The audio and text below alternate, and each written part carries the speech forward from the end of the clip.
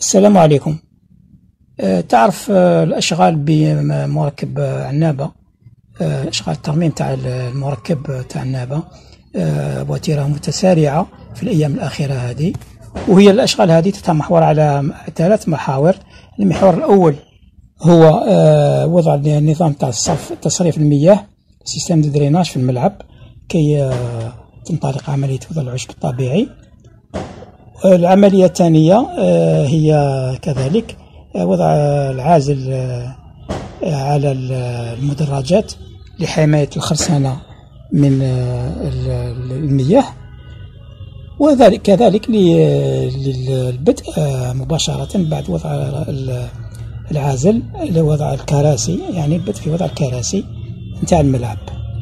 والعملية الثالثة تتعلق بالتهيئة الخارجية فيه بعض التوسيعات في المداخل تاع الملعب وبعض المرافق اللي انضافت إلى المركب هذايا وان شاء الله الأشغال تكون في, في تنتهي في الموعد. خليكم معنا الفيديو. والسلام عليكم.